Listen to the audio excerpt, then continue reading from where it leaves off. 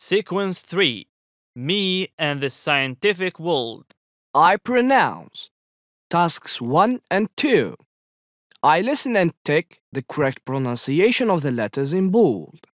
Inventors develop devices that help us almost every day. Inventors develop devices that help us almost every day. We know little about Al Farabi's life or biography. He was a 10th century Muslim philosopher who also wrote a book on music. We know little about Al Farabi's life or biography. He was a 10th century Muslim philosopher who also wrote a book on music.